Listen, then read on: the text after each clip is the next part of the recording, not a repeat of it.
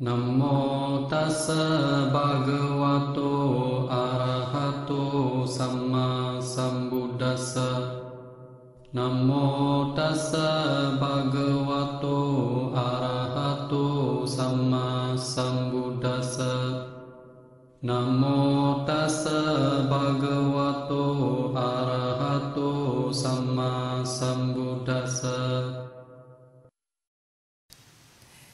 Na mô tassa Bhagavato Arahato Samma Sambuddhassa Na mô tassa Bhagavato Arahato Samma Sambuddhasa. Na tassa. Bhagavato. Arahato. Samma Sambuddhasa.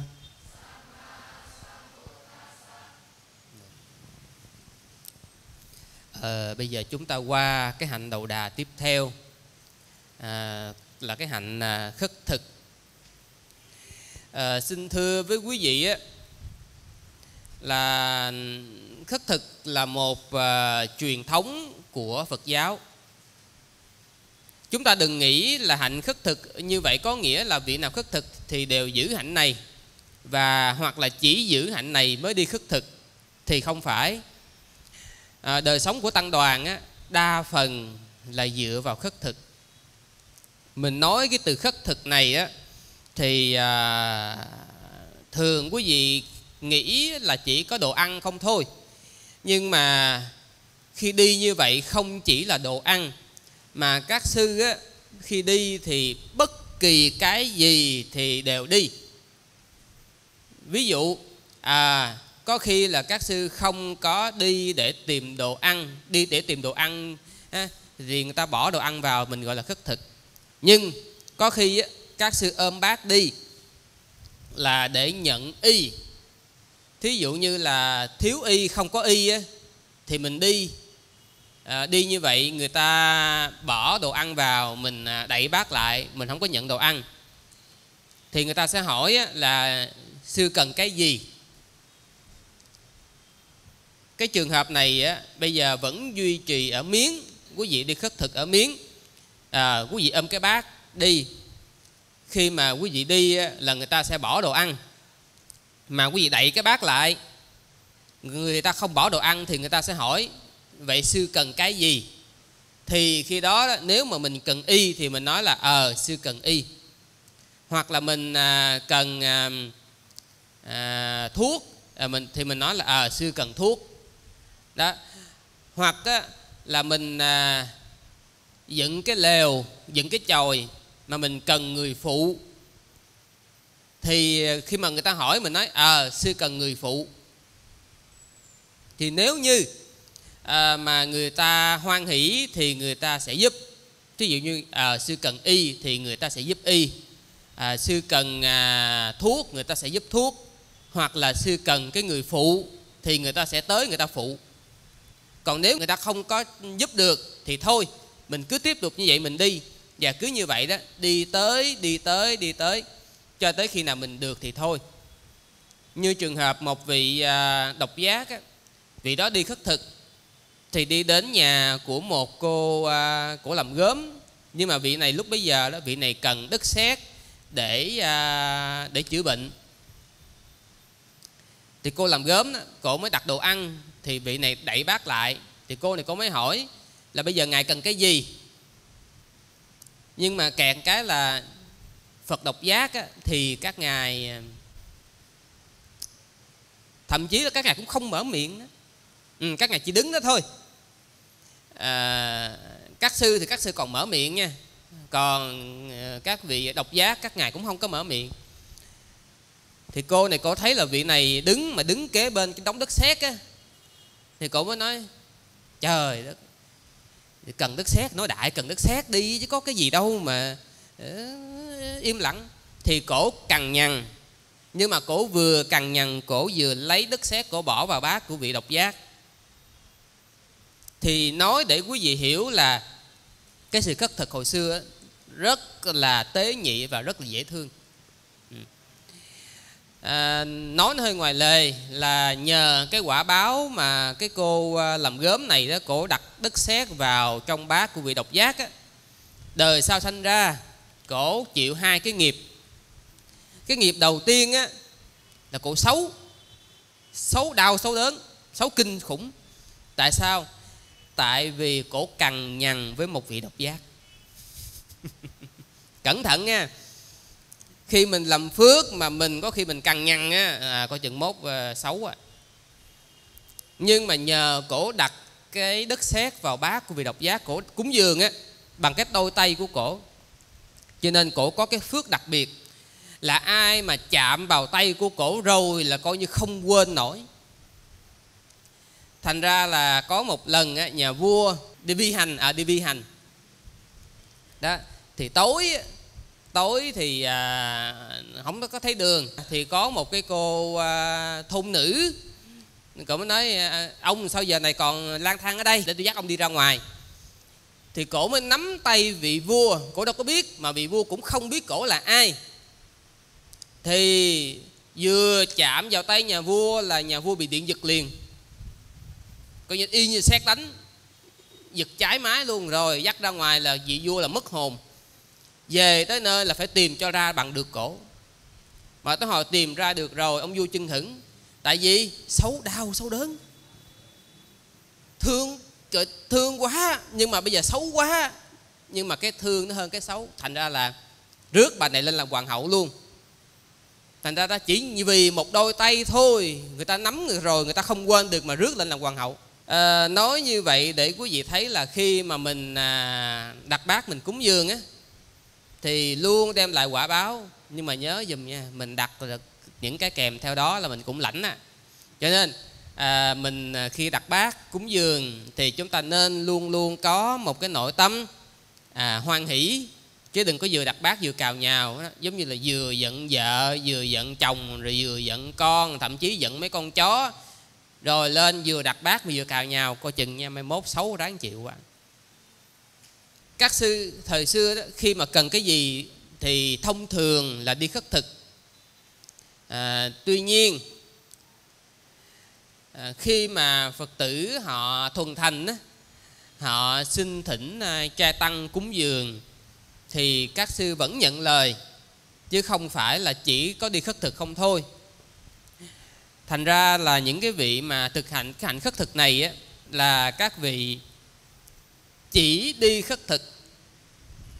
Nếu như cần cái gì cần y áo cần thuốc men cần bất kỳ cái gì vị này đều giải quyết bằng việc đi khất thực. Chứ vị này không có nhận trai tăng không có nhận người ta cúng dường.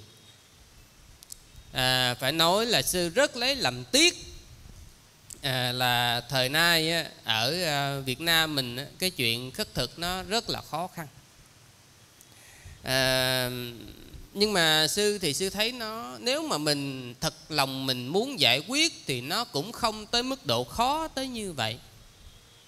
Cụ thể là sư thì à, nhờ ngài à, trụ trì á, à, xin xin với chính quyền thì à, nói với địa phương để chi? Để biết người ta nắm nắm được là ông sư này ở chùa Nam Tông ổng đi khất thực. Ừ thì địa phương họ biết, họ quản lý được. Và cái thứ hai, để tránh cái trường hợp là người ta giả sư cái trường hợp sư giả thì bây giờ rất là nhiều ha. Mà muốn tránh cái đó, nó đơn giản vô cùng. Sư nói thiệt á, đó là cái gì? Đừng có nhận tiền. Mình chỉ cần mình đi khất thực mà mình không nhận tiền thì xin thưa không có ai thèm giả hết trơn á ăn xin bây giờ họ khôn lắm, mà thậm chí ăn xin bây giờ họ cũng tham lắm. Cho tiền xin đứa khi cho ngàn, hai ngàn họ chửi vào mặt á. Cho nên là mình chỉ cần mình đi khất thực mà mình không nhận tiền, ai đâu mà giả mình. Quý vị biết là sư đi riết mà có những cái lần mà rất là dễ thương, đó là người ta nói sau lưng á, nói, ông sư này ổng không có nhận tiền đó. Thì như vậy là mình hoan hỷ tại sao? Tại vì như vậy mình đi khi mà sư đi thì sư chỉ đi ở khu vực à, chùa thôi xung quanh chùa gần những con đường gần chùa. Thì như vậy người ta sẽ có một cái thói quen là ông sư đi khất thực không nhận tiền. Sau này bất kỳ ai đắp y đi nhận tiền là họ sẽ đặt vấn đề liền với người đó thành ra sư nghĩ là mình muốn giải quyết cái nạn sư giả khất thực nó không khó. Cái vấn đề là vấn đề ở mình. Mình đi khất thực á, là mình đi vì đạo hay là vì mình đi vì cái túi của mình thôi. Đó. À, cho nên là sư thì sư vẫn rất là mong mỏi là mình à, phục hồi được cái truyền thống khất thực mà sư biết ở chùa An Lạc á, là cũng à, thỉnh thoảng hình như là thứ ba hàng tuần thì thầy cũng có duy trì cái truyền thống khất thực. Nó rất là đẹp. Sư nói thiệt á ông sư mà đi khất thực á, đẹp lắm. Một vị tu sĩ đi khất thực đẹp lắm. Ừ. À, thì à, đối với cái vị mà thực hành đầu đà đó thì vị này chỉ cần nguyện một à, là tôi à, không nhận thực phẩm dành riêng à, và hoặc là tôi thọ trì cái hành khất thực. À, không thọ cái thực phẩm dành riêng là như thế này tức là à, người ta thỉnh à, cha tăng thì người ta sẽ nấu ăn là người ta có chủ ý là cái món ăn này sẽ dành riêng cho các sư dành riêng cho chư tăng. Rồi sau đó họ đem cái đồ ăn đó họ đến chùa họ cúng dường các thầy các sư thì như vậy chúng ta gọi đó là thực phẩm dành riêng. Ừ. à, còn khi mà đi khất thực á, thì người ta không có chủ ý đó. Sư đi nhiều người á, à, họ đơn giản là họ họ nói với sư bây giờ con không có cái gì hết. Thì sư nói dạ thì à, quý vị hoan hỷ đợi khi khác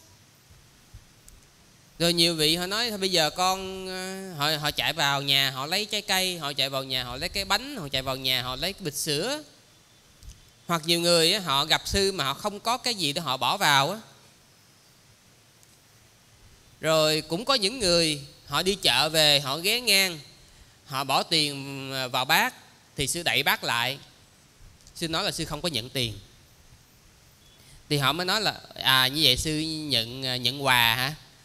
Mà bây giờ con không có cái gì hết. À thôi bây giờ sư sư lấy sư ăn à, sư lấy trái cây ha. Con con mua trái cây có trái cây. Hoặc là à, có, có đậu hũ. À, hoặc là họ ngó cái cái à, cái tiệm gần đó họ chạy đi họ mua cái hộp cơm. Sau đó họ quay trở lại họ đặt vào bát. Có nghĩa là cái sự kiện mà gặp một vị sư á, đi khất thực á, là một sự kiện nó mang tính bất ngờ.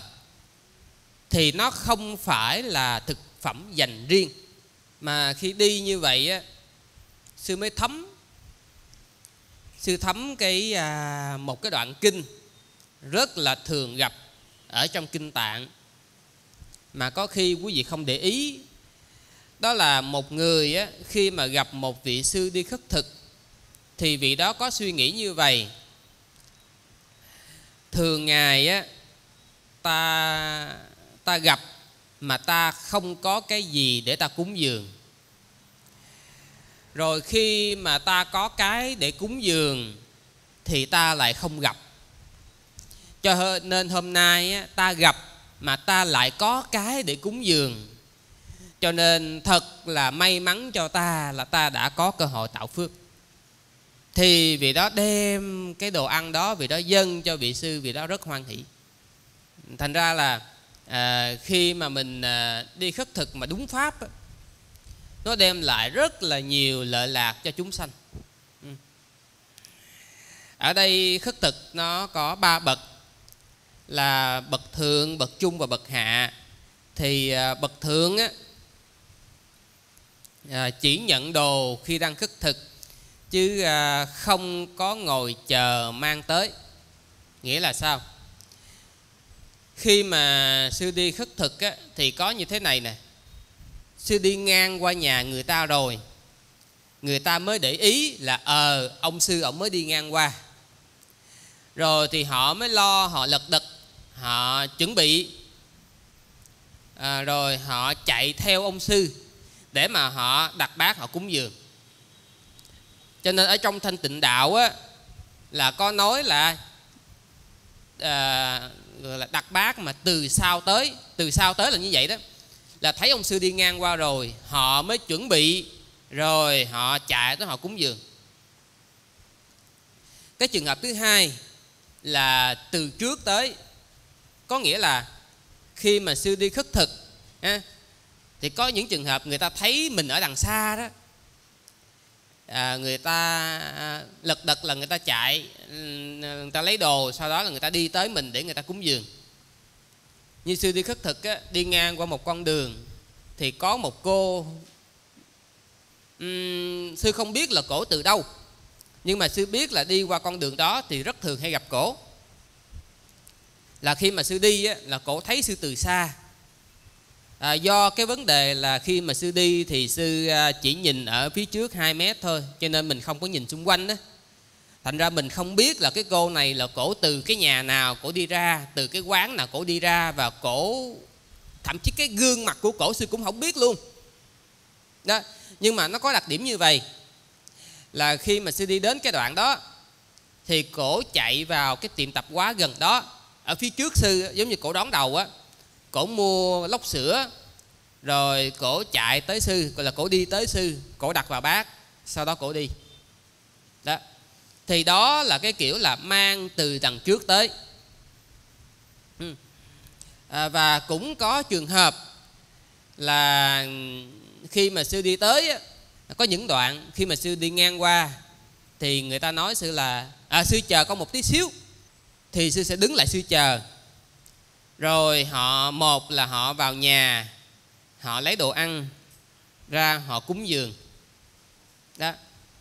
Hoặc á là họ sẽ um, lấy xe họ chạy đi họ mua đồ ăn sau đó họ quay lại họ đặt bát họ cúng dường. Thì có nghĩa là họ kêu sư chờ thì sư sẽ đứng lại đó mà sư chờ. Rồi cũng có trường hợp á như là sư đi qua ngang qua một cái quán à, bán à, bún bò bánh canh thì họ dễ thương lắm. Suy nhớ hoài có cái đứa nhỏ ở nhà đó nhà đó đương nhiên qua bán thì có rất là nhiều người nhưng mà có một cái đứa nhỏ à, hai vợ chồng thì kêu là sư sư đứng lại chờ con tí xíu sư đứng lại chờ. Cái à, có đứa nhỏ lóc chóc gì nè nhỏ xíu à. Nó chạy qua nó nó nắm nó nắm cái nó nắm cái đải hoặc nó nắm nắm cái tay ông sư. Nó kéo sư vô rồi nó kéo cái ghế ra nói sư ngồi đây đi sư ngồi đi sư sư chờ con tí xíu sư chờ ha. Rất là dễ thương. Thì à, với cái vị là bậc thượng á là vị đó không có ngồi. Tức là ngồi chờ người ta cúng dường á thì vị bậc thượng thì vị đó sẽ không có ngồi. À, còn cái vị bậc trung á à, thì vị à, vị đó sẽ ngồi. Nhưng mà vị đó ngồi là chờ trong ngày hôm nay thôi chứ không có hứa tại vì có những trường hợp á à, sư gặp rồi sư đi ngang qua một chỗ thì cái cô này á cổ à, do vội á thành ra cổ cũng không chuẩn bị gì được nhiều. Thì cổ mới nói với sư là ngày mai à, sư đi sư đi ngang qua chỗ này đi rồi con cúng. Thì đó là hứa hẹn tức là hứa là ngày mai sư đi khất thực mà sư đi ngang qua cái con đường đó để cho cổ cúng. Thì nếu như là vì bậc trung á là vị đó sẽ nhận lời. À, hoặc có một cái nhà cũng rất là dễ thương. À, nói với sư là bây giờ à, sư ơi hồi xưa đó là sư đi ngang sư đi khất thực trên con đường thì sư sẽ đi ngang qua cái nhà đó. Nhưng mà bây giờ cái nhà đó là họ bán nhà họ đi chỗ khác họ buồn lắm. Thì nhưng mà họ nói với sư là bây giờ con con bán con qua cái hẻm đó đó thì nếu mà sư đi ngang qua thì sư ghé sư ghé nhà con. Thường á, thì khi mà sư đi khất thực á, là khi khi mà sư đi ngang qua cái con đường đó thì sư sẽ cố tình sư quẹo vào trong cái hẻm. Nó hai lần rẽ rẽ một, rẽ trái một lần, rồi rẽ trái thêm một lần nữa thì mới vào nhà cổ. Thì à, vào trong cái hẻm đó thì à, gia đình cổ mới cúng dường. Sở dĩ sư lưu ý cái nhà này nhiều á tại vì à, khi mà sư đi khất thực thì nó có một cái thói quen. Không biết tại sao mà sư rất là thương mấy bà cụ già đặc biệt mấy bà cụ già mà nghèo á. À, sư thương lắm. À, sư cố tình có khi sư cố tình sư đi ngang qua để cho các cụ à, đặt bát. Mà bà cụ này á thì à, già mà bị liệt. À, mà mỗi lần thấy sư đi ngang qua thì bà cụ mừng lắm. À, cho nên là có dịp thì sư vẫn à, ghé ngang qua để bà cụ à, đặt bát cúng dường. Thì cái hứa đó đó là cái hứa cho những cái ngày sau. Thì cái vị bậc trung á thì vị đó sẽ không nhận lời. À, tức là vị đó chỉ à, cúng trong ngày hôm nay thì nhận. À, nhưng mà à, hứa mà ngày mai ngày mốt mấy ngày sau thì không được. Đó à, vị đó sẽ nói là không được đâu. À, sư đi à, sư không có hứa được nhưng mà vị bậc hạ đó à, thì vị này có thể ngồi chờ mà cũng có thể hứa cho những cái ngày sau. Thì um, với cái vị mà thực hành hạnh khất thực như vậy như sư nói cái đời sống của vị này á nó rất là đẹp. À, mà không dễ đâu nha không dễ đâu bởi vì nếu như mà quý vị chỉ đi khất thực không thôi đó, thì xin thưa là nó khổ lắm. Bởi vì à, đặc biệt là mấy ông sư Việt Nam mình mà giữ cái hạnh này là sư nhắm thọ không lâu. Tại sao? Quý vị biết khi mà sư đi khất thực như vậy cái sư thường nhận được là cái gì, quý vị biết không? Trái cây, bánh ngọt mà nếu như mà sư đi chỉ thuần túy mà sư đi khất thực không thôi á sư ăn cái đó ngày qua ngày tháng qua tháng là chắc là sư leo lên bàn thờ sớm. Đúng không? Chỉ ăn có mỗi trái cây bánh ngọt thôi. Hiếm hoi lắm mới có người đặt cho một cái hộp cơm. Đó. Chứ đừng nói chi đến cái chuyện là mình à, Ờ, chờ khất thực ờ, giải dốc rồi thuốc men rồi chờ người ta giúp. Ừ, thí dụ ha đó, sắp tới ờ, chùa có cái phật sự gì đó cần người giúp mà thử đi thử ông đi khất thực mà ông nhờ người giúp coi có ai không đó lại là một vấn đề thành ra đó cái thói quen của mình á nó chưa có um, đi tạo điều kiện thuận lợi cho một vị thực hành cái hạnh này đâu. Ừ cho nên là nếu như mà giữ cái hạnh này là phải nói là khổ lắm chứ không phải đơn giản. Nhưng mà nếu như mà mình à, làm được thì mình đương nhiên là sẽ rất có rất nhiều sự lợi lạc. Cái lợi lạc à, đầu tiên ở đây là làm à, đúng như là như trong luật. Có nghĩa là vì đó sẽ ý thức được rõ là sự à, mình á, sẽ phụ thuộc vào cái việc đi khất thực. Từ đó đó vị này sẽ không có sự tích trữ. Ừ. Rồi vị này an lập trong cái thánh tài thứ hai á là ở trong tăng chi mà hôm bữa sư um, sư nói rồi. Ừ. cái này ở trong quý vị mở trong thanh tịnh đạo dùm sư nha. Cái này là y y nguyên trong thanh tịnh đạo trong cái quyển đó đó à, rồi sự sống của vị này không lệ thuộc vào kẻ khác và thế tôn đã ca ngợi đồ ăn khất thực là không giá trị dễ kiếm và không lỗi. Quý vị biết là đi um, đi khất thực như vậy đó đúng là mình à, được một cái lợi đó là gì? Mình không có phụ thuộc vào người khác. Thông thường á à, là mình sẽ có một vài vị à, phật tử họ đặt bát họ cúng dường họ tới tới chùa đó. Rồi họ tra tăng họ cúng dường. Thì thường như vậy đó dần dần á, mình rất dễ mình lệ thuộc vào người ta. Như là trường hợp à, ở trong à, chú giải pháp cứu à, có câu chuyện là một vị tỳ kheo á, thường đến một cái ngôi nhà để khất thực suốt mười mấy năm. Suốt mười mấy năm như vậy á ngôi nhà này á, nuôi dưỡng vị này. Mà quý vị biết là nuôi mười mấy năm thì thân lắm thân như là người trong gia đình vậy.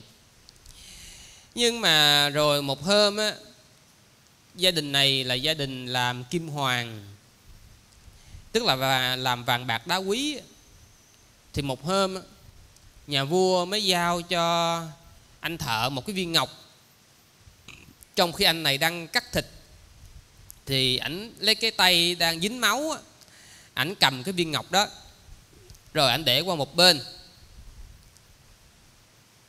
Cái à, con ngỗng á, nó thấy cái, nó thấy cái cục mà dính máu á, nó tưởng cục đó là cục thịt, cho nên nó ăn nó nuốt mất đi.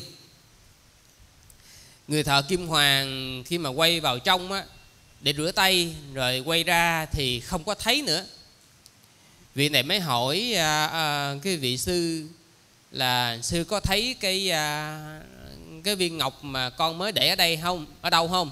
Sư thấy thì sư nói. Thì vị sư không có trả lời. Tại vì à, nếu như mà vị này trả lời thì con ngỗng nó sẽ chết. Do cái người thợ này sẽ vạch bụng con ngỗng ra để mà lấy cái viên ngọc thì con ngỗng nó sẽ chết. Cho nên vị này im lặng người thợ kim hoàng rất là rối, mới gặn hỏi, gặn một hồi không được, vị này mới đánh ông sư. Là cái viên ngọc ở đây, ông thấy thì ông làm ơn ông nói.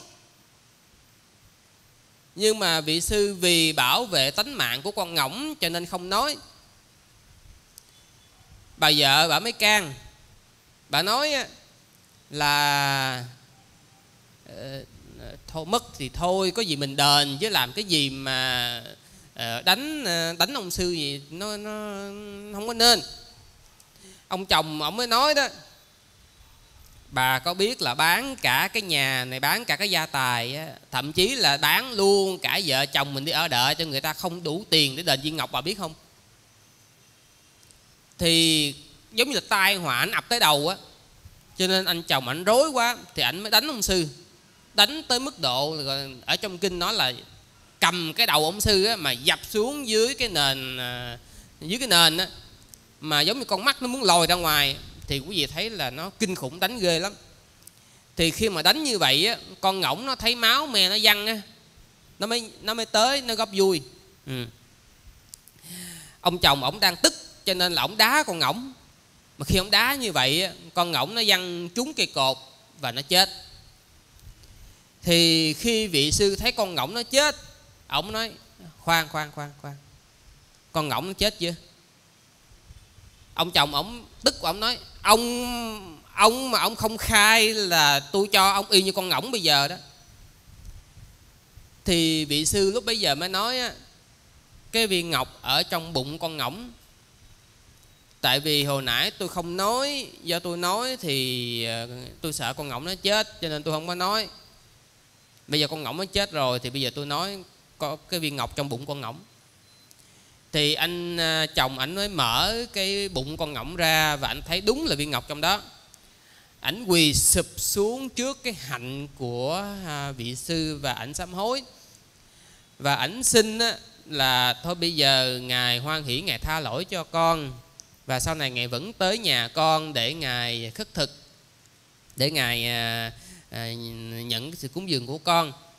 Thì vị này mới nói mới nói á, cái này là lỗi là do luân hồi chứ còn ông không có lỗi gì đâu. Tuy nhiên ta đã thấy rõ cái sự nguy hại của cái việc lệ thuộc vào người khác.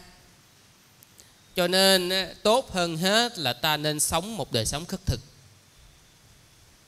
Từ đó đó à, vị này à, chỉ đi khất thực không thôi chứ còn à, không có đến nhà của một người nào nữa. Nói như vậy để quý vị thấy là à, khi mà mình à, gắn bó quá nhiều với một gia đình nào đó thì rất dễ xảy ra những cái điều không mong muốn. Mà ở trong kinh á, thì đức thế tôn nói như thế này nè là những cái hại khi mà mình à, gắn bó quá nhiều với cư sĩ. Đó là gì? Mình vui với cái vui của cư sĩ. Mình buồn với cái buồn của cư sĩ. À, nói nó kỳ. Chứ sư thì đương nhiên cũng có một vài à, cư sĩ à, thuần thành ruột mà gọi là à, thường xuyên gần gũi mà nuôi rồi hộ độ sư á cũng có chứ. Ông sư nào thì cũng thường cũng có thể có. Cái vấn đề là như vậy. À, nếu như á, mà một hôm nào đó cái người này á, bị bệnh sư cũng lo. Nói thiệt đừng có nói mình tu giỏi lo, tại cái người này hộ độ mình nhiều thì đương nhiên mình phải có cái tình tình thương của mình đối với cư sĩ. Mình phải có tình thương với họ. Họ lo sư cũng lo. Là không những họ bị bệnh, mà nếu như một người nào trong nhà của họ bị bệnh, nhập viện chẳng hạn, thì mình cũng lo. Hoặc bản thân họ họ gặp một vấn đề gì đó thì mình cũng lo. Hoặc là khi họ được một cái gì đó, họ chia sẻ với sư thì sư cũng mừng mừng cho họ. Thì đó lại là một vấn đề như trong kinh nói vui với cái vui của cư sĩ và buồn với cái buồn của cư sĩ thì khi đó mình bị dính mắt.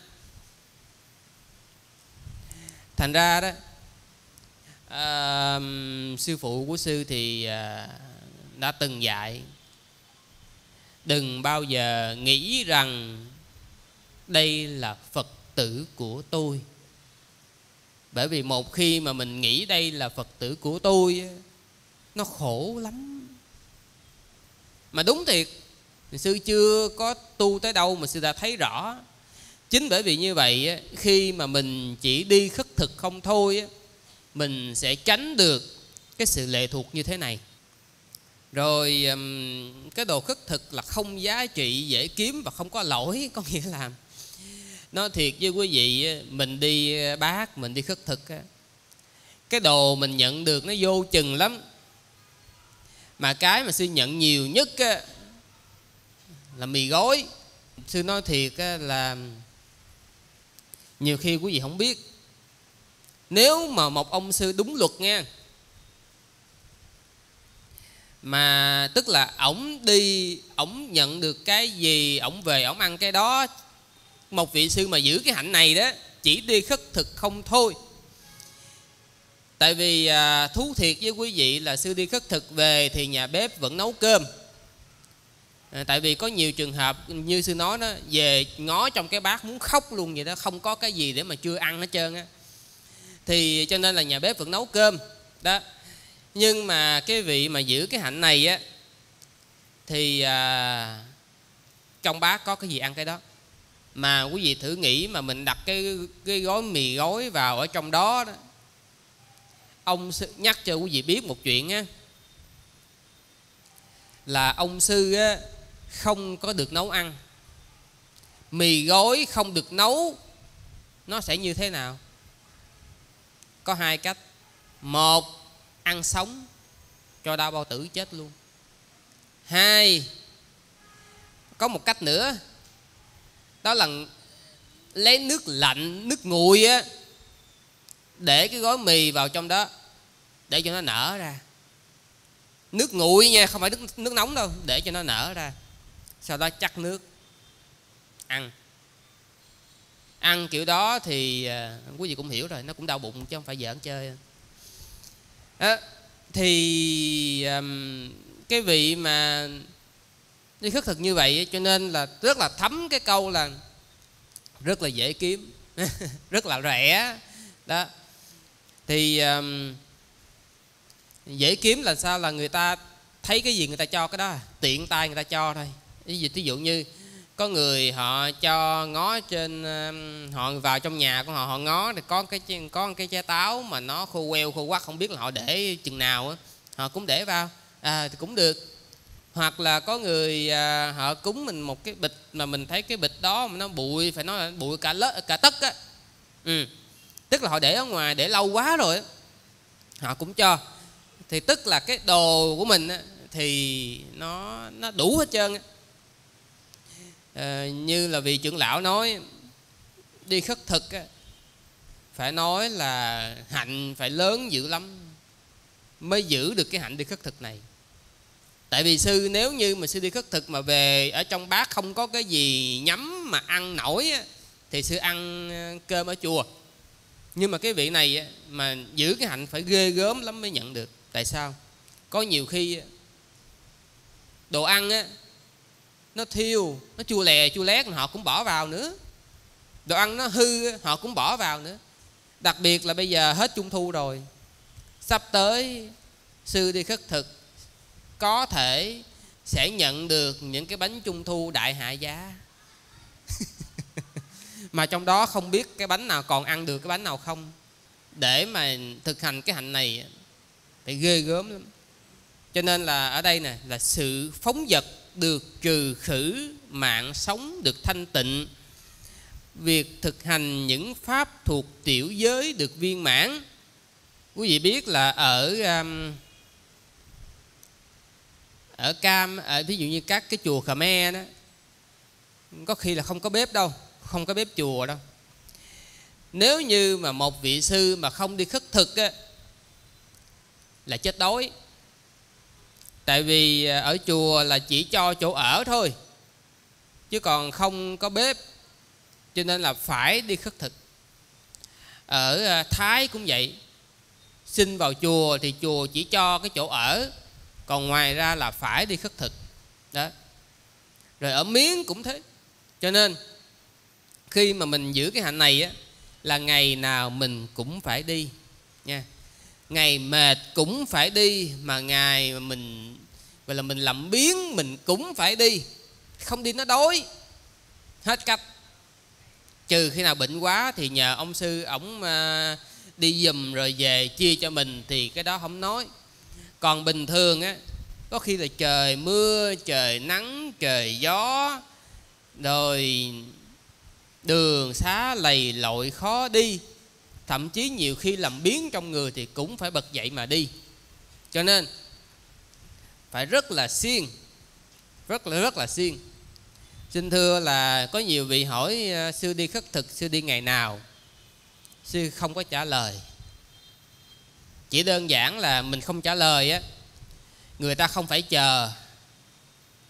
Tại vì khi người ta chờ á mà lỡ hôm đó mình có khi mình không muốn đi người ta chờ tội nghiệp người ta. Đó. Hoặc là ngày hôm đó mình à, dự cái lễ trai tăng thì mình cũng đâu có đi khất thực làm chi. Hoặc là, hoặc là ngày hôm đó mình hơi mệt à, mình cũng không đi không sao hết. Còn nếu mà mình thực hành cái hạnh này là ngày nào cũng phải đi à, cho nên là phải siêng mạng sống thanh tịnh là do mình không phải à, lao động làm ăn như ở ngoài đời không phải cày cuốc không phải buôn bán mà đồ ăn của mình. Thuần túy là nhờ vào lòng tốt của thiên hạ. À, nói để cho quý vị thấy là cái chuyện khất thực không phải là cái um, đó là một cái nghề được xem là thấp nhất trong xã hội. Bởi vì nó tương đương với cái nghề ăn xin mà khất thực là ăn xin ăn xin đồ ăn. Nếu mình khất thực đúng thì chẳng qua là mình không ăn xin tiền thôi. Thời nay ăn xin họ lấy tiền. Đó cho nên là có khi họ cao cấp hơn ông sư một bậc. Ông sư đi khất thực thì ông không có nhận tiền. À, cho nên là cái mạng sống cái sự nuôi mạng được thanh tịnh là như vậy. Việc thực hành các pháp à, thì như thế này nè. Khi mà đi khất thực một vị sư không đơn giản là vị đó chỉ ôm bát rồi vị đó đi là đủ. Mà khi đang đi như vậy đó vị đó phải gìn giữ những cái giới mà liên quan. Ví dụ như đi ra khỏi chùa là phải đắp y quấn kính cổ. Đó đắp y như, như sư nè đắp y quấn kính người. Rồi khi đi khất thực á, mắt chỉ được nhìn trong tầm 2 mét. Rồi khi đi khất thực á, là không được nhìn vào mặt của người nữ thí chủ cúng dường mình. Cho nên hồi nãy sư nói với quý vị là có cô á cổ cúng dường sư không biết là bao nhiêu lần rồi mà sư không biết cổ là ai. Tại sư không có nhìn mặt cổ. Và rất là nhiều người nữ khi mà họ cúng dường sư thì sư cũng chả biết họ là ai. Tại vì chỉ đơn giản là mình không có nhìn mặt họ thì đây là một cái giới. Rồi hơn nữa khi mà đi khất thực như vậy đó, mình phải luôn giữ chánh niệm. Một là thực hành thiền chỉ hai là thực hành thiền quán. Tức là cái sự đi khất thực của vị đó là vị đó đang đi thiền. Quý vị cứ nghĩ là mình à, ngồi thì mình mới chịu thiền. Còn khi một vị sư đi khất thực á, là vị đó đang đi thiền. Mà đang đi thiền như vậy thì ờ, cái tâm vị đó rất là lành. Để chi? Để có thể tạo ra nhiều phước nhất có thể cho người cúng dường vị đó. Và sư thì sư ờ, thường á, thì sư ờ, rải tâm từ. Bởi vì trong tất cả các đề mục chỉ và quán thì đề mục tâm từ đem lại nhiều phước nhất cho người cúng dường mình. Thành ra cái chuyện thực hành ở đây nó đôi khi nó không phải là cho chính mình nữa mà nó còn cho thiên hạ. Tức là dành cho những người đặt bát cúng dường mình. Nhờ như vậy á người cư sĩ cúng dường một vị sư khất thực à, họ mới có nhiều phước chứ còn nếu như mà mình đi khất thực mà đầu óc của mình á, nghĩ toàn những chuyện tham sân si nghĩ đến cái chuyện gọi là thù hận ganh tị bỏn sẻn thì như vậy là mình thực hành sai cái pháp đi khất thực ừ. cho nên là ừ, ở đây nè vị ấy không do một người khác nuôi sống đó không nhờ lệ thuộc vào người nào vì ấy giúp đỡ mọi người. Như sư nói khi mình đi khất thực như vậy đó là mình gieo duyên với rất là nhiều chúng sanh. Đó, người ta đặt bát là người ta gieo duyên với chùa.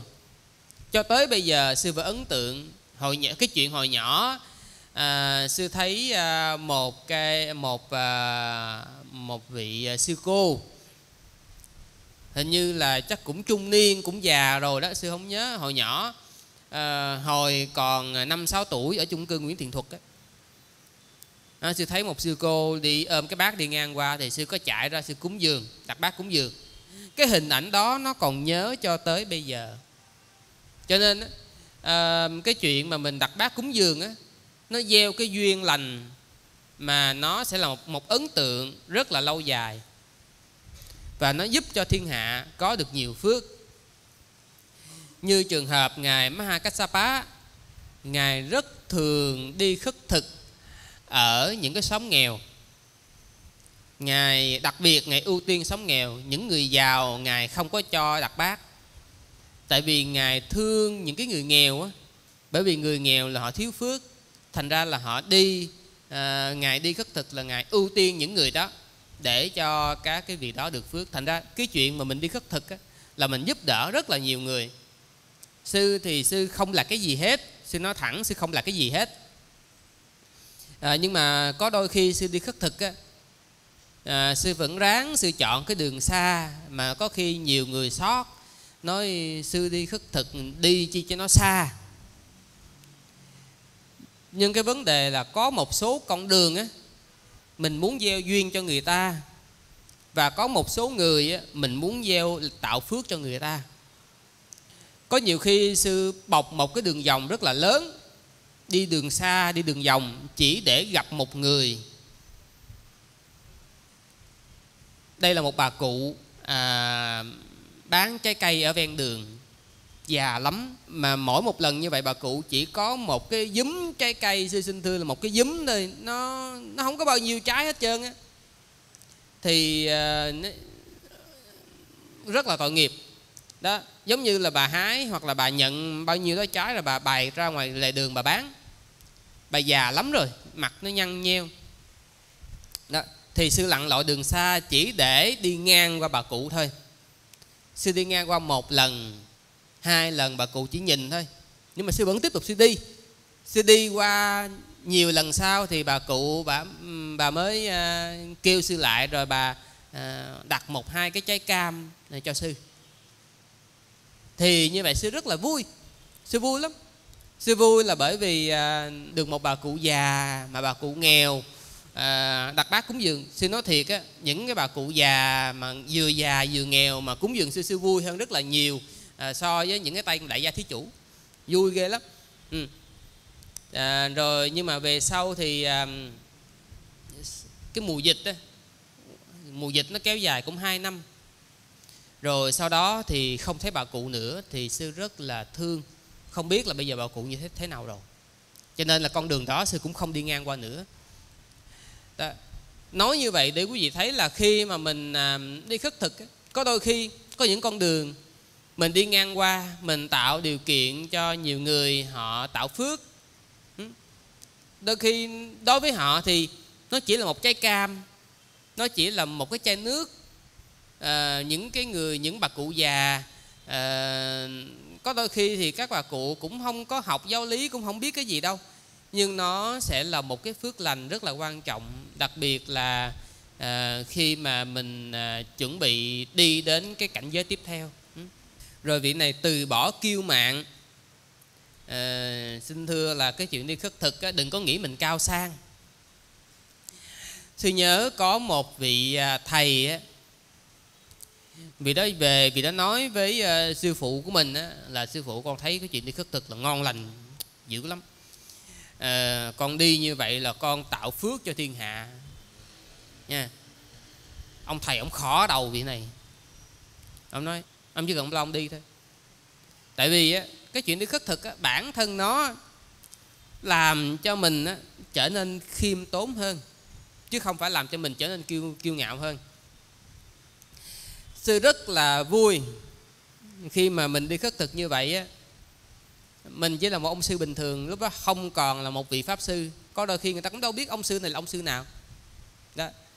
À, cứ đi như vậy mà quý vị đừng có nghĩ là mình đi như vậy là người ta toàn là người ta thương nhé có nhiều người họ không có ưa đi ngang họ chửi mà đôi khi mình cũng thương họ mình nghĩ mà không biết là mình cũng đâu có đụng chạm gì tới họ đâu ờ à, nhưng mà họ vẫn chửi ừ.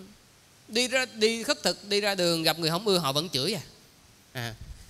rồi um, chửi ờ, để để coi tại vì nhiều khi mình không có thèm nhớ làm chi mà sư ví dụ ha đi ngang qua thấy ông sư trẻ đi khất thực à, có nhiều người họ ác mà mắt miệng nói ngó mặt vậy đó có khi à, à thất học rồi đời không nhận không kiếm việc làm lười lao động vô chùa đi tu giờ ôm bác ra ngoài đường. Đó.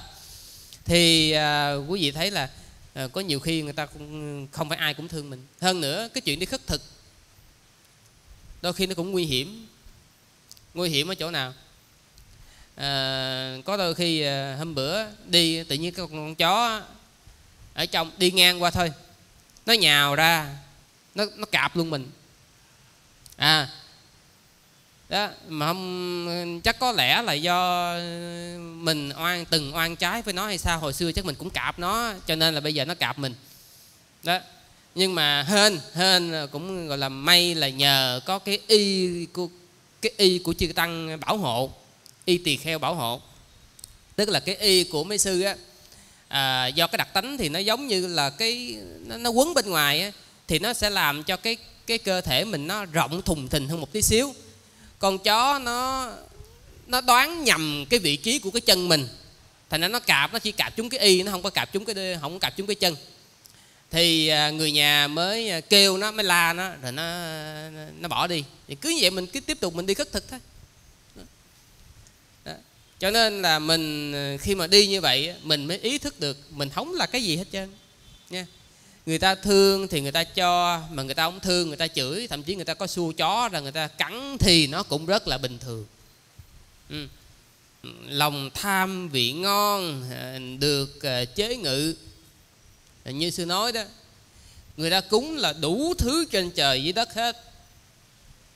Mà một vị trưởng lão nói thiên hạ thì có nhiều món ngon vật lạ, chứ còn tôi ăn vật lạ nhiều hơn món ngon. Đó cho nên là khi mình đi khất thực như vậy mình sẽ bỏ được cái lòng tham của vị giác. Bởi vì mình không biết là ngày hôm nay mình sẽ nhận cái giống gì ở trong cái bát của mình đâu.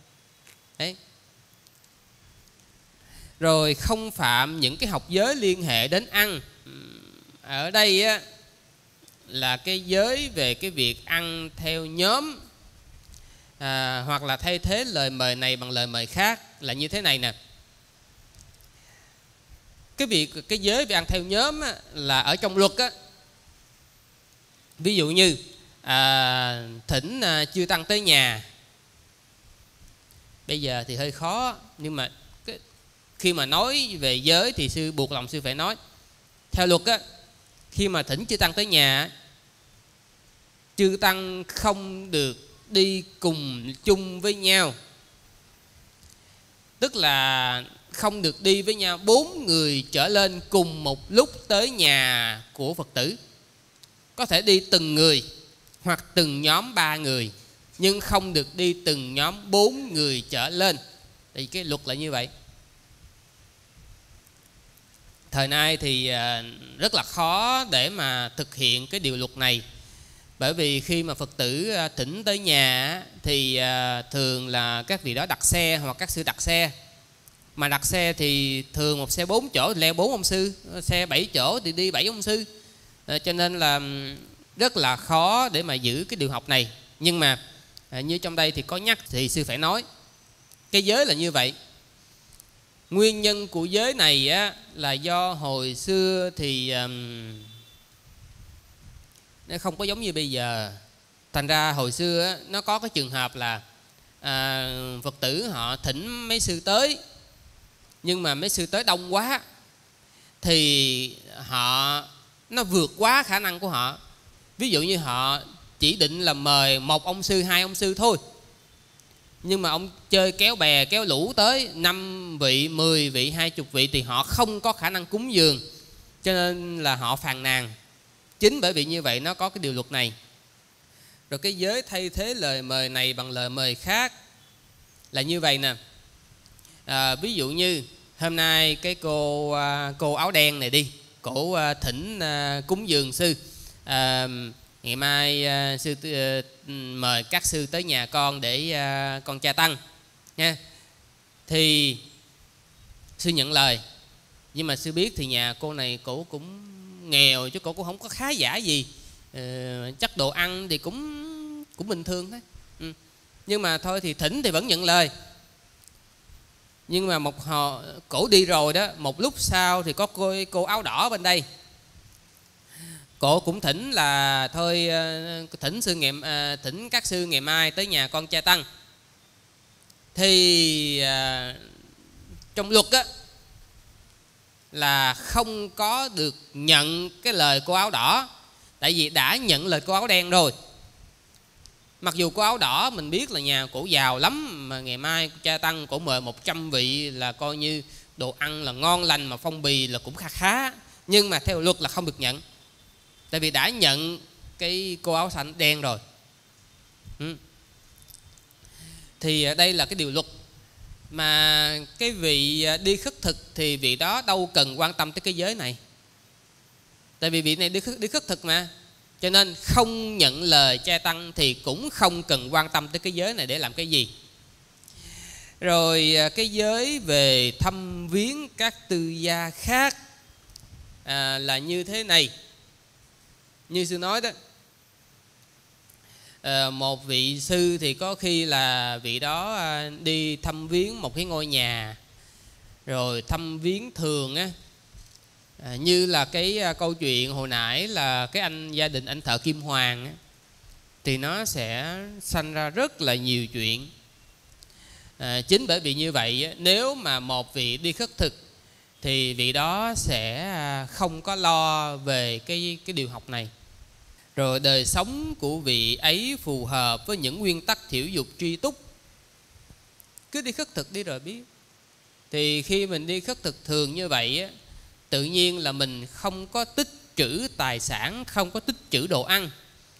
Tại vì mình ngày nào là mình đi lo cho ngày đó thôi. Đó. Cho nên là dần dần á, mình sẽ học được cái hạnh là thiểu dục chi túc à, vân vân. Rồi tu tập bát chánh đạo thương tưởng đến những đời hậu lai. À, quý vị nếu như mà có à, thực hành tứ niệm xứ thì quý vị cũng thấy là bản thân cái việc đi thiền chỉ riêng việc thực hành tứ niệm xứ không thôi chỉ riêng việc giữ gìn chánh niệm không thôi. Bản thân nó cũng đã đầy đủ bát chánh đạo. Cái việc đi khất thực cũng vậy. Ừ. Đầu tiên là vị đó đương nhiên phải có chánh kiến rồi. Có chánh kiến thì à, à, vị đó mới à, thực hành cái hạnh đầu đà này. Rồi sau đó vị này có chánh tư duy tức là khi đi khất thực tâm của mình á, là phải ly dục tư duy vô sân tư duy và bất hại tư duy. Ừ. rồi khi đi khất thực như vậy á, đương nhiên cái à, cái thân nghiệp và khẩu nghiệp của vị đó cũng được thanh tịnh. Tức là chánh ngữ chánh nghiệp vị đó có. Cái sự nuôi mạng của vị đó là chân chánh cho nên là vị đó có chánh mạng. Vì đó nỗ lực tinh tấn thì vị đó đương nhiên có chánh tinh tấn chánh niệm và chánh định. Tức là khi mà đi khất thực như vậy vì đó thực hành chỉ và quán. Như sư nói ngay từ hồi nãy. Chính bởi vì như vậy chỉ riêng việc đi khất thực thôi thì nó cũng là đang thực hành theo bát chánh đạo. Ừ. À, và thương tưởng đến những đời hậu lai. À, như trong à, trường hợp ngài à, Maha Kassapa à, có lần á, à, Đức Thế Tôn à, nói với ngài Mahakassapa là ngài đã già rồi đã lớn tuổi rồi. Thế Tôn nói ngài hãy về à, ở trong tăng đoàn đi để à, gọi là để dưỡng tấm thân. Thì ngài mới nói là con à, vẫn hoan hỷ với việc thực hành hạnh đầu đà bởi vì á, à, nó sẽ là cái gương cho đời hậu lai tức là nhờ gương của những vị tiền nhân mà đời sau á, khi mà mình đọc về công hạnh của các ngài á, mình mới có lòng mình phục hồi truyền thống. Phải nói là à, khi mà sư nhìn cái hình ảnh một vị sư đi khất thực á, sư thấy nó đẹp lắm sư mê lắm. À, chính bởi vì như vậy từ khi mà sư xuất gia lúc nào sư cũng ám ảnh dây dứt sư cứ nghĩ hoài về cái hình ảnh này rồi sư sinh. Mà quý vị biết là cái chuyện mà mình xin để được đi ra ngoài đường để khất thực đó, nó không phải dễ đâu. À, và sư sinh như vậy sinh hình như cũng phải 3 năm thì mới được. Có nghĩa là khi mà mình à, nghĩ tới những cái hình ảnh của các vị quá khứ mình lấy cái đó mình làm gương thì rõ ràng đúng là cái việc mà thực hành cái hạnh đầu đà này nó làm gương cho hậu thế. Ừ. Người sau đọc vào những vị tu sĩ trẻ đọc vào các vị đó sẽ có cái niềm tin sẽ có động lực để mà noi theo. Mặc dù sư thì sư không có thực hành cái đầu đà này nhưng mà mình à, cũng rất là ngưỡng mộ và mình cũng gọi là mình cũng đi khất thực được vài ngày thì nó cũng là một cái sự uh, gọi là ké một tí xíu của cái hạnh này. Ừ. rồi hạnh khất thực từng nhà là như thế này. À, thứ nhất á, là cách thức thọ trì. Thì à, vị này sẽ nguyện là tôi à, từ chối vì lòng tham mà đi khất thực hoặc là tôi thực hành hạnh khất thực từng nhà. À, nói như thế này nè là nếu như mà mình đi khất thực thường á thì à, mình sẽ biết rất là nhiều con đường. Trong đó thì có con đường có đồ ăn ngon có con đường có đồ ăn dở có con đường mà người ta chửi mình có con đường mà người à, người ta cúng dường mình nhiều. Nói chung là mình biết hết.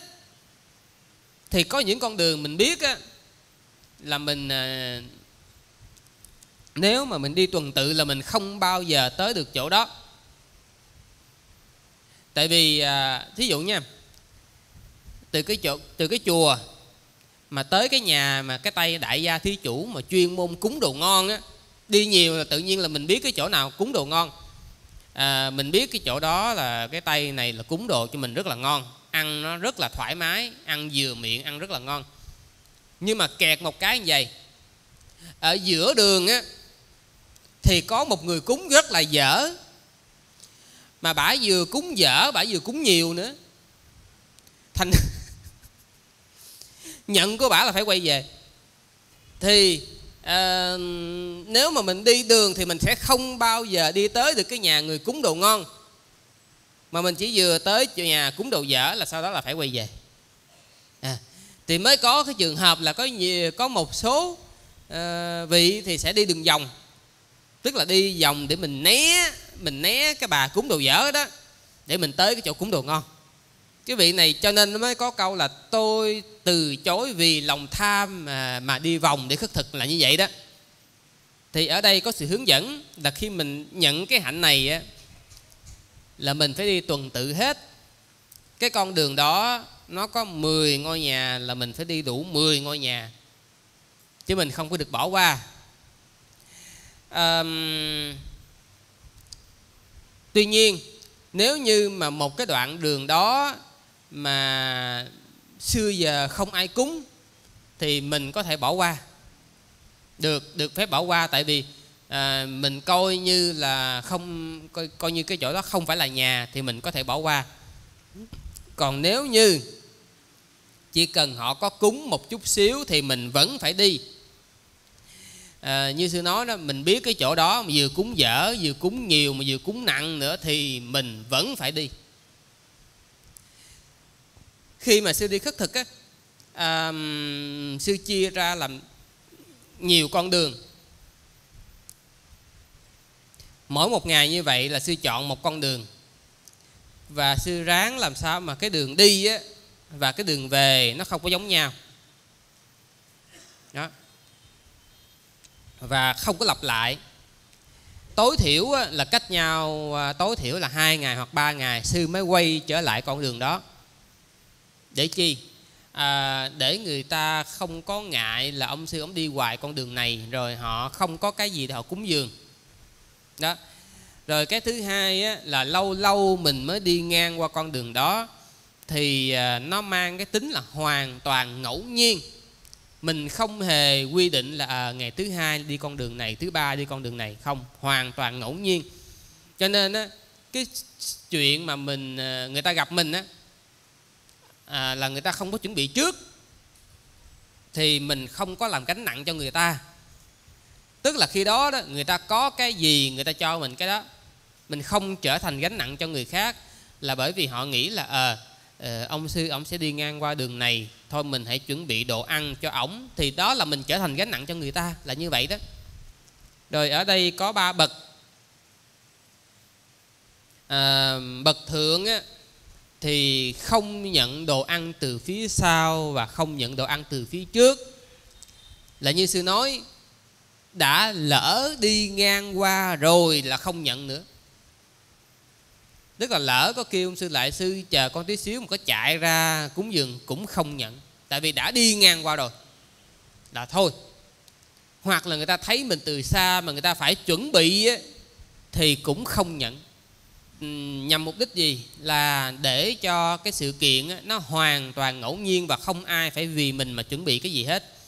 Thành ra vị bậc thượng này rất là gắt à, và vị này thì à, khi mà đến từng ngôi nhà nào đó thì có thể dừng lại một chút để à, để xem coi là à, người ta có cái ý đặt bát cúng dường hay không.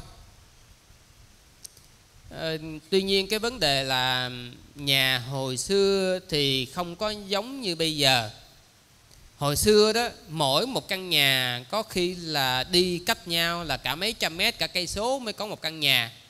Không tin bây giờ quý vị mà về quê quý vị sẽ thấy nó tương tự như vậy. Mà quê bây giờ cũng, nhà cửa cũng san sát rồi. Cho nên bây giờ mà đi từng nhà, mà cứ đi qua, đi tới từng cửa nhà mà mình dừng lại một tí xíu thì không biết chừng nào mới đi tới nơi cho nên là bây giờ mà thực hành cái bậc thượng thì rất là khó. Ừ. Còn bậc trung á thì à, nhận đồ ăn được từ phía sau và từ phía trước. À ở đây là nó còn có một cái là nhà ăn. Nhà ăn là như vậy nè. Là có một số nơi á, thời Phật á, là họ xây một cái căn nhà rồi họ để đồ ăn ở đó cứ vị nào mà đi khất thực mà đi ngang qua đó là họ sẽ đặt bát cúng dường. Thì đó gọi là nhà ăn. Thì cái vị mà bậc thượng á, thì à, vị này sẽ không có nhận đồ ăn khất thực tại nhà ăn. Còn vị bậc trung á, là nhận từ phía trước từ phía sau rồi nhận luôn tại nhà ăn. Đó. Có thể là đứng à, đưa bát ở cửa nhà nhưng mà không có ngồi đợi thì không ngồi đợi là như sư nói. Là thí dụ như à, đứa nhỏ nó dắt tay ông sư nói sư ngồi đi chờ tí xíu là không à, thôi à, sư sư đứng à, sư không có ngồi con. Thì cái kiểu như vậy. Còn vị bậc hạ thì vị đó có thể ngồi chờ. À, khi mà sư đi qua miếng thì sư cũng thấy à, khá là nhiều trường hợp á. À, người ta mời vị sư ngồi đó rồi người ta mới đi vào người ta chuẩn bị đồ ăn. Dạ, rồi người ta đặt bát người ta cúng dường. Thì có thể ngồi chờ ở trong ngày. Ừ. thì cái lợi ích đó, thì quý vị thấy là à, luôn là khách lạ tại các gia đình thì đúng rồi. Đi từng ngày mà đi đi từng nhà đi từng nhà đi từng con đường thì tự nhiên mình với nhau chỉ là khách lạ thôi. Ừ. rồi um, từ bỏ tham luyến với các gia đình thì giống như ở trên sư vừa nói rồi ha à, và như sư nói đó mình biết nhà nào mà có đồ ăn ngon nhà nào có đồ ăn dở nhưng mà khi mình đi từng nhà như vậy là như thế nào mình cũng đi hết thì mình không có sự tham luyến với những cái gia đình. Sư kể chuyện vui nó cũng hơi kỳ. Có một vị sư ôm bá khất thực mà nó kẹt cái là vị này cứ chỉ đứng lại ở cái nhà um, gọi là ở những cái căn biệt thự thôi. Đứng trước cửa nhà người ta vậy nó đứng trước căn biệt thự thôi. Nhà thường không có đứng. Hỏi sao nói để tế độ người giàu. À. Đó. thì cái vị mà khất thực từng nhà là sẽ không có cái thói này ha. rồi um, là có lòng từ một cách bình đẳng tức là khi mình đi từng nhà như vậy đó giàu thì mình cũng nhận mà nghèo thì mình cũng nhận đó. thì cái lòng từ của mình á, bình đẳng đối với tất cả chúng sanh ừ. rồi cái phần là tránh những nguy hại do thường xuyên lưu tới các gia đình thì um, giống như ở trên ừ. không thích thú trong sự mời ăn không hy vọng đồ ăn được mang đến thì như sư nói khi mình đi từng nhà như vậy đó mình không biết được là cái gì sẽ chờ đợi mình. Khi mình đi lâu ngày á mình sẽ biết là nhà nào có đồ ăn ngon nhà nào có đồ ăn dở. Nhưng mà khi mình đi từng nhà như vậy á là cho cái gì mình cũng nhận hết.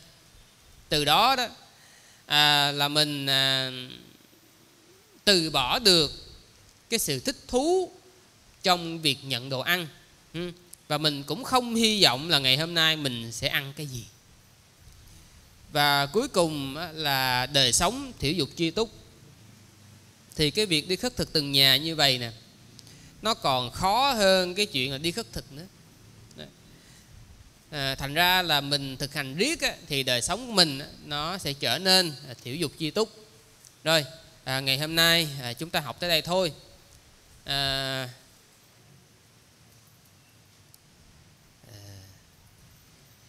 Dạ kính thưa sư.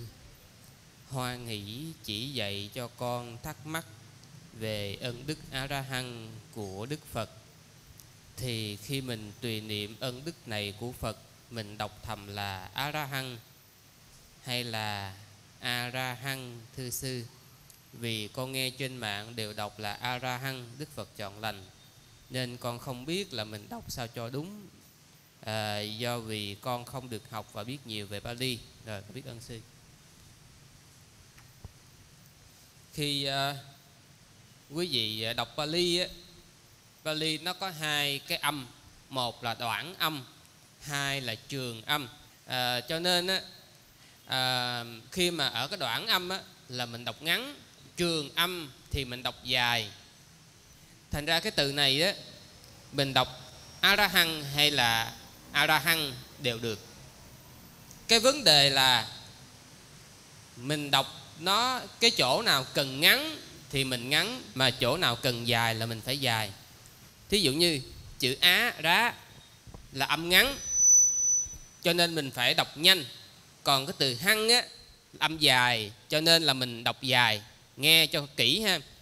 A ra hằng a ra hằng a ra hằng a ra đều được hết.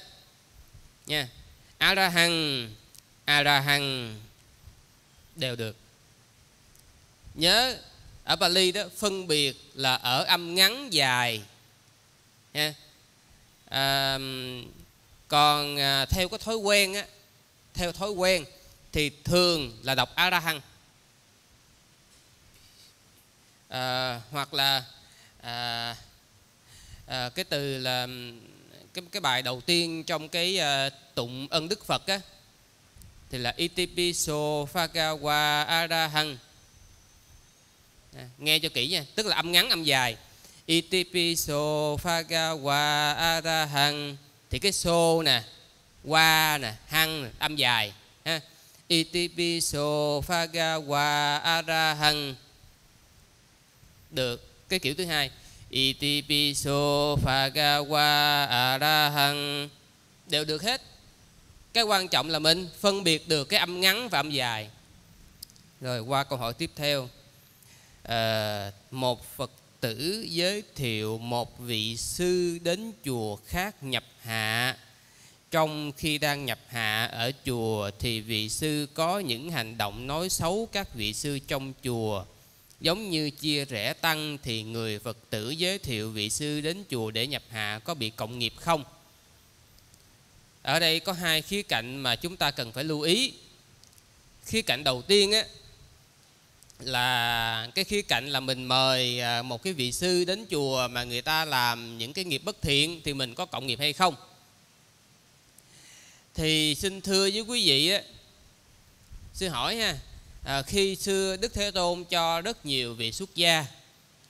Có những vị xuất gia rồi đó tu tập chứng thánh mà cũng có những vị tu rồi đó thì bắt đầu là làm những chuyện bất thiện. Ví dụ như đề của đắc tá thì quý vị nghĩ xem cái việc thế tôn cho đề của đắc tá xuất gia rồi sau này đề của đắc tá phản phật hại phật thì như vậy thế tôn có lỗi hay không? Không có. Vì sao? Vì cái chuyện vào trong tăng đoàn rồi mình tu như thế nào đó là chuyện của mình. Thế tôn chỉ là người mở đầu là người hướng dẫn. Còn sau đó, đó mình tu như thế nào đó là chuyện của mình. Chính bởi vì như vậy mình không thể đổ thừa là ờ à, tại sao hồi xưa thế tôn cho đê quý tá xuất gia làm chi? Để rồi đê tá tá lại à, chia rẽ tăng đoàn. Thấy không? Cái nào ra cái đó. Và cái vấn đề thứ hai là cái chuyện chia rẽ tăng thì à, quý vị à, phân biệt dùm. Thứ nhất là làm cho nội bộ lục đục tức là làm cho sư này cãi nhau với sư kia sư này bất hòa với sư kia.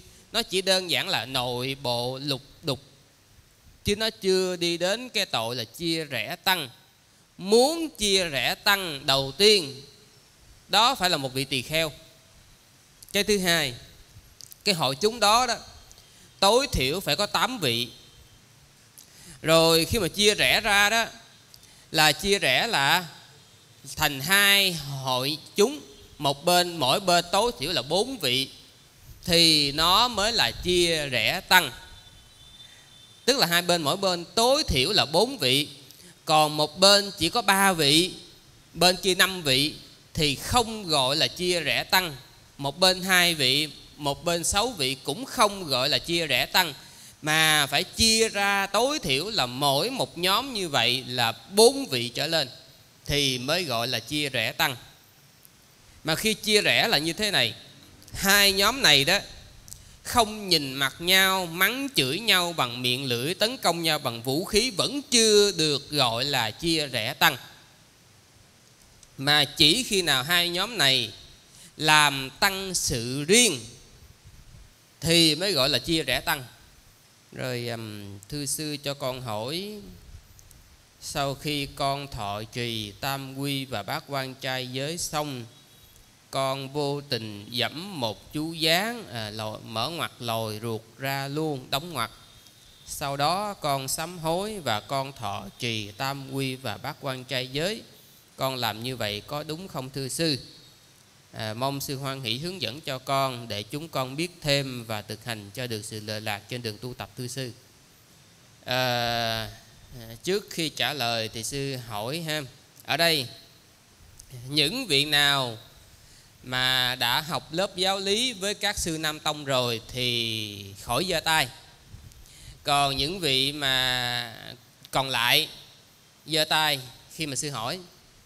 Đó là, những điều kiện gì để mình biết một người nào đó là phạm giới sát sanh hoặc không phạm giới sát sanh? Mình có những điều kiện gì? Quý vị giơ tay. Nói sai cũng được không sao hết. Dạ con thưa sư à, thứ nhất là mình có tác ý muốn giết.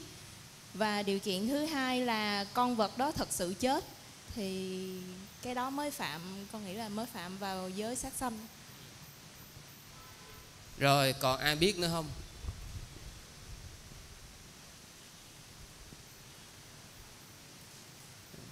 Bây giờ quý vị sợ giơ tay sư kêu đúng không? Bây giờ rồi không kêu nữa.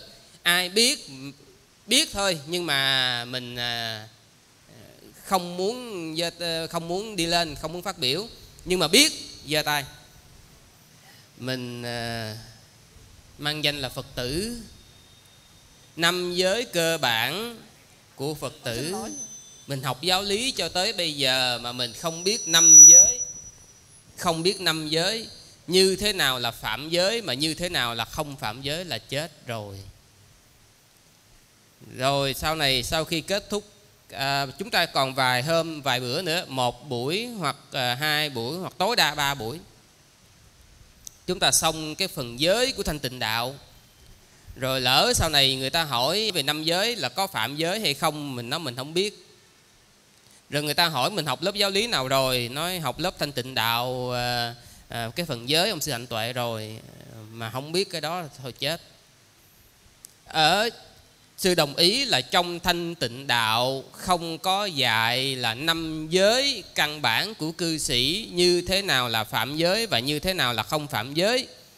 Bởi vì vốn dĩ nó là căn bản cho nên mặc định khi chúng ta học thanh tịnh đạo là chúng ta phải biết rồi.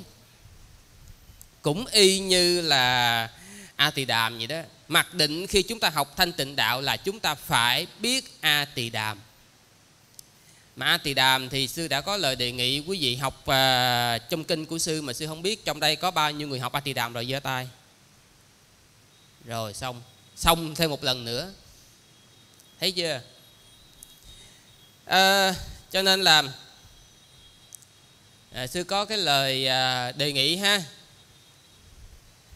là nếu bây giờ quý vị có hoan hỷ là sau khi mà xong cái phần giới của thanh tịnh đạo á sư sẽ có à, những cái buổi bổ túc à, phổ cập bổ túc để cho quý vị biết về năm giới biết rõ các chi phần của năm giới thế nào là phạm giới và thế nào là không phạm giới.